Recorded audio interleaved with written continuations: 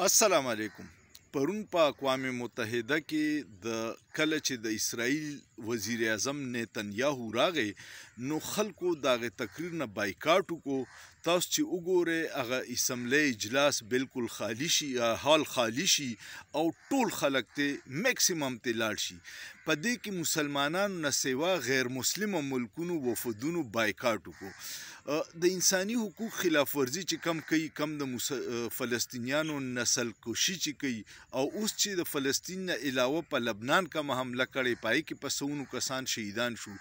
خو بدقسمتي صدا چې 55 اسلامي ملکونه مجرمانه خاموش دي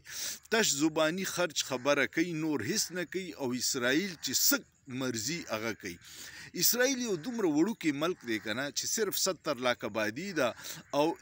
مسلمانانو ملکونو ډېر عرب یو نیم عرب نه سیوا مسلمانان دي نو هغه د ایران یو ډېر قابل سړی و هغه وی کو دی وخت کې چرته ابابیل راشي نو هغه به په يهوديانو باندې کانی نه وری اب په دې مسلمانانو وری کم چې په دې مجرمانه خاموشي ده بل یو سوچ وکړئ چې کله تاسو یاد شي یو لسته شپږته کاله مخکې جنرال راحیل شریف ریټایرډ شو نو سعودي عرب یو اسلامي فوج جوړ کړو او داغه کمانډر جنرال راحیل شریف غستو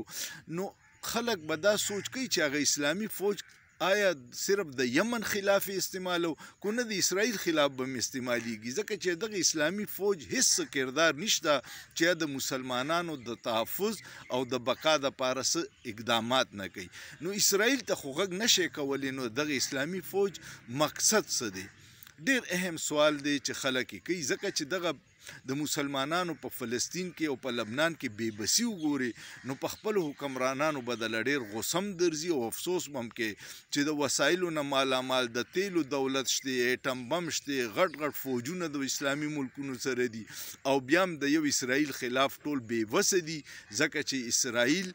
یو داسې طاقت ځان جوړ کړی او د امریکې پشتپناهي ده او د معیشت په د دنیا په غټ ملټي نېشنل او په میډیا هاوسز د هغوی قبضه ده دای خلاف چې څوک هم څه کوي نو د هغوی هر څه ختمي او مسلمانان بې وسه دي ځکه چې نااهل دي حکمرانان کرپټ دي حکمرانان تش د خپل اقتدار د پاره کوي د مسلمانانو ورسره هیڅ غم نشته مونږ یو لفظ اورو امت مسلمه امت مسلمه اسه ډرامه ده یو مسلمان ملکم د بل په دړ نه دړمن دی عام مسلمان په دړمن دی حکمران په خپل عیاشیانو کې دی نه د فلسطین غمشتا نه ور سره د لبنان غمشتا نه ور سره د کشمیر غمشتا صرف خپل مفادات سلسله ده ستاسو څه خیال دی سوچ پیو کې په سوچ کې څه ګناه نشته